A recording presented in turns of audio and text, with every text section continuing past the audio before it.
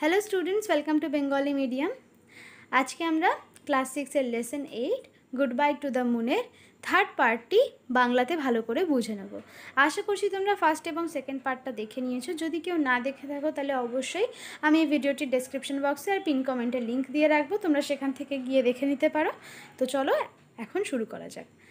Someone called out my father governor the press and TV are waiting for you কেউ আমার বাবাকে ডাকলো, ডেকে বলল যে, গভর্নর প্রেস আর টিভি আপনার জন্য অপেক্ষা করছে। ও sure I will come right away বলছে হ্যাঁ আমি এক্ষুনি আসছি। I watched him leave down the aisle আর আমি তাকে দেখলাম সে দুটো সিটের মধ্যবর্তী যে রাস্তা হয়, সেই রাস্তা ধরে সে নিচের দিকে নেমে গেল। আইল মিন্স যখন কোনো যেমন এরোপ্লেনে হয়, দুদিকে সিট থাকে এবং মাঝখান দিয়ে একটা সরু রাস্তা থাকে প্যাসেঞ্জার্সদের যাওয়ার জন্য, সেই জায়গাটাকে বলা হয় aisle. Immediately I swung my legs down to the floor তখনই আমি আমার পাটা দোলাতে দোলাতে নিচে রাখলাম। I realized standing was tough and walking was very difficult আমি বুঝতে পারলাম যে দাঁড়িয়ে থাকা তো কঠিন, আর হাঁটা তো তার থেকেও বেশি কঠিন। দাঁড়িয়ে দাঁড়ানো তো ভীষণই শক্ত কাজ এখানে। আর তার, হাঁটা হচ্ছে তার থেকেও বেশি কঠিন। কেন? কারণ সে তো নিজের ওয়েটের থেকে ছগুণ বেশি অনুভব করছে। তো সেই জন্যই তার ওয়েট ডিফারেন্সের জন্য এই জিনিসটা মনে হচ্ছে। I practiced one foot and then the other up and down the aisle holding on to the seat bags for support আমি প্র্যাকটিস করলাম, আগে এক পা ফেললাম, তারপর আরেক পা ফেললাম, ওপরে নিচে করলাম আমার পাটাকে। আইল দিয়ে সে হাঁটার প্র্যাকটিস করল অর্থাৎ আইল মানে আমি তোমাদেরকে বোঝালাম। তো ওখানে যে সিটগুলো ছিল, সিটের ব্যাকটা ধরে মানে পিছন দিকটা ধরে সে হাঁটার চেষ্টা করল। I put on my jacket walked with difficulty to the exit point আমি আমার জ্যাকেটটা পরে নিলাম এবং এক্সিট পয়েন্টে খুব কষ্ট করে গিয়ে পৌঁছালাম। I saw crowd of reporters and cameraman surrounding my father আমি দেখলাম যে একটা সাংবাদিকদের সমস্ত ভিড়, আর ক্যামেরাম্যানের ভিড় আমার বাবাকে একদম ঘিরে ধরেছে। It was really a new world এটা সত্যি একটা নতুন জগৎ। There was a storm of voices আর যেন কণ্ঠস্বরের ঝড় উঠেছে। How loudly the people of earth talked বলছে যে, কত জোরে কথা বলে। পৃথিবীর মানুষেরা কত জোরে কথা বলে।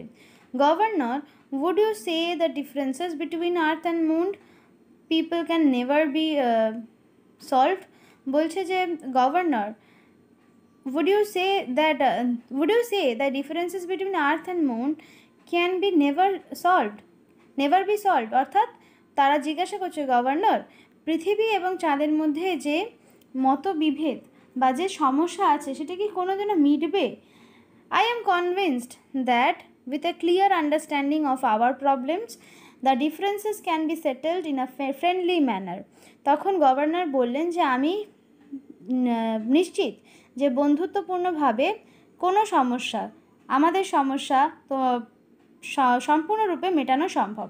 মানে গভর্নর তখন বললেন যে আই এম কনভিন্সড দ্যাট আমি নিশ্চিত যে উইথ আ ক্লিয়ার আন্ডারস্ট্যান্ডিং মানে সঠিক বোঝাপড়ার মাধ্যমে আমাদের সমস্যা অবশ্যই মেটানো সম্ভব, বন্ধুত্বপূর্ণভাবে in a friendly manner governor how long do you think you will say stay on earth বলছি, গভর্নর, আপনার কি মনে হয়? আপনি কতদিন এখানে থাকবেন?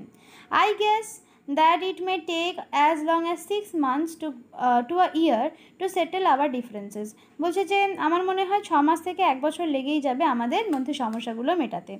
One last question governor now you are back on earth again will you tell your listeners which is really home to you earth or moon বলছে একটা শেষ প্রশ্ন যে, আপনি এখন আবার আর্থে ফিরে এসেছেন।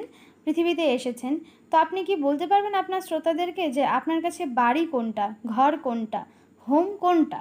আর্থ না moon that's a difficult question to answer তখন গভর্নর বললেন যে এটা বেশ শক্ত প্রশ্ন।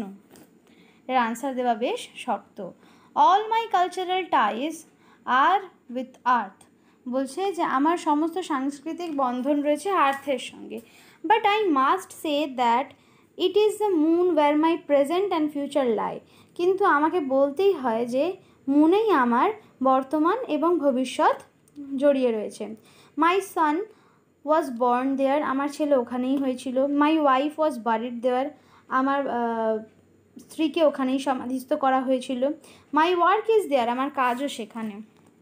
It is a good it is good to be back on earth but moon is my home বলছে, আমার ভালো লাগছে পৃথিবীতে ফেরত এসে, কিন্তু চাঁদি আমার বাড়ি। Father saw me standing among the reporters father বাবা আমাকে দেখতে পেল, আমি রিপোর্টারদের মধ্যিখানে দাঁড়িয়ে রয়েছি। He gave me his arm সে আমাকে নিজের হাত দিল, হাত বাড়ালো, অর্থাৎ আমার দিকে। We walk together on the landing pad আমরা ল্যান্ডিং প্যাডে একসাথে হেঁটে নেমে আসলাম। The sun was gently warm সূর্যটা বেশ উষ্ণ এখানে। আই লুকড আপ আমি ওপরের দিকে তাকালাম। It was strange being outside without a space suit বলছে, খুবই অদ্ভুত যে আমরা, খুবই অদ্ভুত স্পেস স্যুট ছাড়া, অর্থাৎ মহাকাশ পোশাক পোশাক ছাড়া বাইরে বেরোনো, এটা খুবই অদ্ভুত একটা ব্যাপার। Earth will certainly be fun earth সত্যি আর্থে সত্যিই খুব, অর্থাৎ পৃথিবীতে সত্যিই খুব মজা হবে বা পৃথিবী সত্যিই খুব দারুণ একটি জায়গা। I lay back and thought of pyramids and the Taj Mahal and the mysterious jungle buildings of Incas would six months be time enough to see it all বলছে। ও তারপরে চিত হয়ে শুয়ে পড়ল লে ব্যাক অর্থাৎ শুয়ে পড়ল এবং ভাবলো যে তাজমহল পিরামিড, ইনকাদের রহস্যময় জঙ্গল এবং বাড়িগুলোর কথা। বলছি, এসব দেখার জন্য কি ছ মাস যথেষ্ট হবে? এই ভাবতে ভাবতে ও শুয়ে শুয়ে এই ভাবতে লাগল। তো এখানেই তোমাদের থার্ড পার্টটাও শেষ হচ্ছে, এখানে তোমাদের গল্পও শেষ হচ্ছে থার্ড পার্টের সঙ্গে। তো আশা করছি তোমরা বুঝতে পেরেছ। এবং নেক্সট ভিডিওতে আমরা অ্যাক্টিভিটি সলভের দিকে যাব। তো অবশ্যই যদি ভিডিওটি ভালো লেগে থাকে, তাহলে একটি লাইক দিও, তোমার বন্ধুদের সঙ্গে শেয়ার করো। এবং আজকের জন্য এতটাই। আবার দেখা হচ্ছে নেক্সট ভিডিওতে